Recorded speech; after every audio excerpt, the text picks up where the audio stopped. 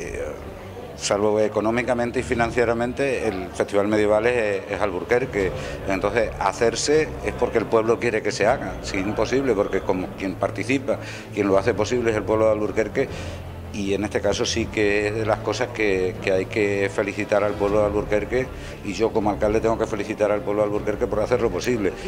O sea, simplemente es un aprendizaje que hay que realizar y yo creo que eso el Festival Medieval traslada un poco lo que es la forma de, trabajar que se tiene Alburquerque en general. Es decir, es complicado pensar que eh, existe, un, existe autoridad, sí existe, pero no existe autoritarismo, existe una autoridad que, se respeta, pero al final se trabaja tomando decisiones en conjunto. Pues sí, la verdad es que, es un orgullo estrenarme como diputado de Cultura presentando el Festival Medieval de, de Albuquerque por dos motivos. Primero, por el vínculo emocional que tengo con esta villa, porque la familia paterna, toda la familia de mi padre procede de, de Albuquerque. Y en segundo lugar, porque ya va por el vigésima quinta edición y creo que es muy importante que una fiesta eh, que surge desde la ciudadanía, desde la participación popular, como ha dicho, como ha dicho el alcalde, pues se mantenga en el tiempo y en este caso una institución como la Diputación Provincial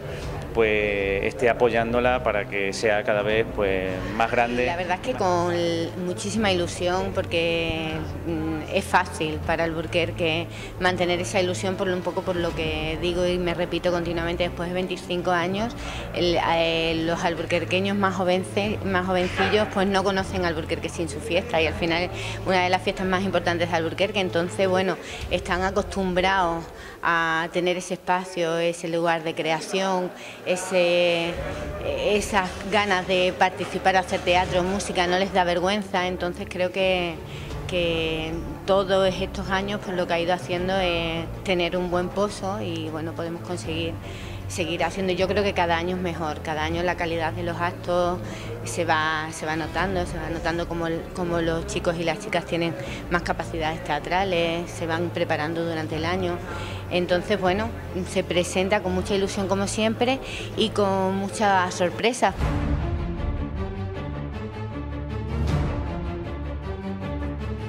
Centramos en Beltrán de la Cueva como hecho histórico dentro de la recreación histórica, pero al ser, el 25 aniversario también hacemos referencia a personajes como don Álvaro de Luna y doña Inés de Castro y don Pedro de Portugal, que fueron en años anteriores lo que era nuestro, nuestro centro de, dentro de la recreación histórica.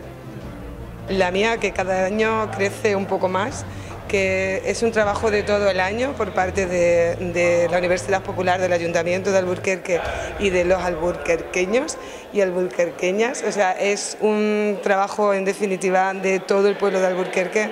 que todos los veranos nos viene a refrescar la memoria sobre esas culturas que mm, vivieron en, en ese magnífico pueblo y que además vivieron en cordialidad. o con nuestros hermanos portugueses porque también